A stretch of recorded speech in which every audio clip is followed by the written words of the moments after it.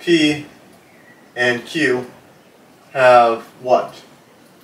If P and Q have continuous continuous partial differential, continuous partial derivatives, right? Continuous partial derivatives, then we can use Green's theorem. So if they have continuous partial, and I'll go d d d dn, so continuous partial derivative of whatever, right? Then we can use this fact. We can transform this into double integral over some domain. So now we're not just going around a curve, we're integrating a domain, right? We're integrating an area using this double integral. And the formula goes like this. So it's going to be q with respect to x. So dq dx minus p dp dy and over dA. Right? You can think of it as opposites, right? That's how you can remember it. But that's Green's theorem right here. Okay, so let's actually use this to integrate. So Q, what is Q? Q is the second one, so Q is negative x cubed. Okay, and then what, what dq dq dx, right? dq dx. Well, dq dx is the derivative of this with respect to x, which is negative 3x squared. Okay. That's all very useful. Um, well, what, what about the other part? Well, p,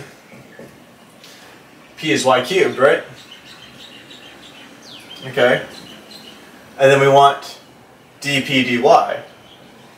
dp dy, which is what? It's going to be 3y squared. Okay. So now let's apply this stuff into this formula and write the integral. So, hmm, what do we think? It goes dqdx, so this guy, minus this.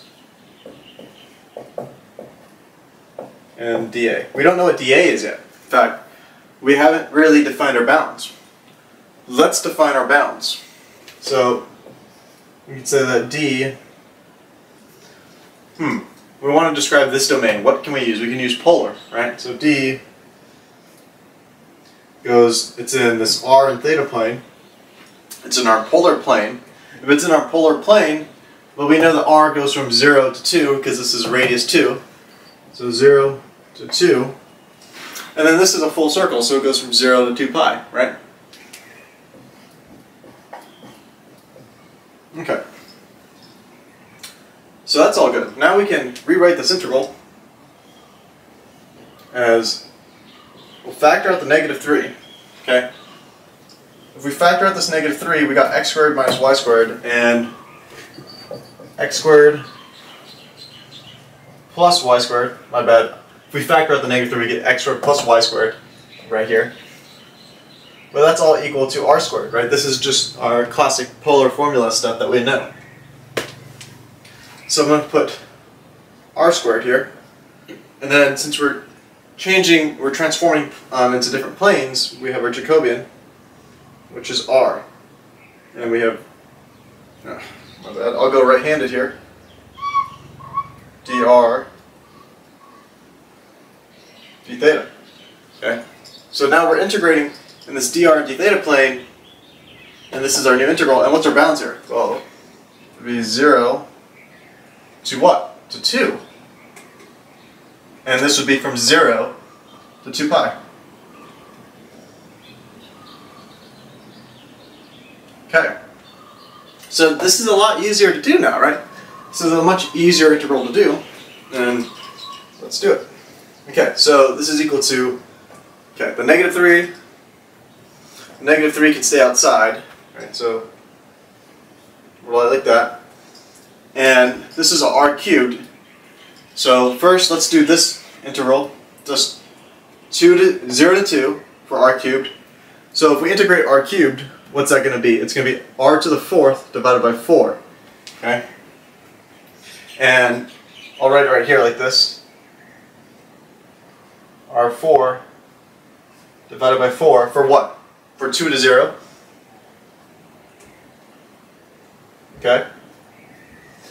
So, let's just plug this in real quick before we put it back into here. Okay, 2 to the power 4 is what? It's 16. 16 divided by 4 is 4. Okay, so we get 4. Okay. So we have a 4 here. And then there is no theta term. There is no real theta term here. The only theta term is 1. So if you integrate to theta, if you integrate d theta, 1 d theta from 2 pi to 0, it's just 2 pi. Okay, um, quick warning. Uh, the fucking idiot you're watching. Okay. So uh, for some reason he's gonna keep saying 2, so we get negative 24, times 2 pi. It's just negative 24 pi.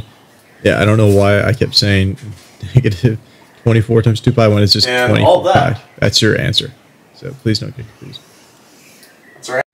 Consider subscribing and liking if you found this video interesting or helpful.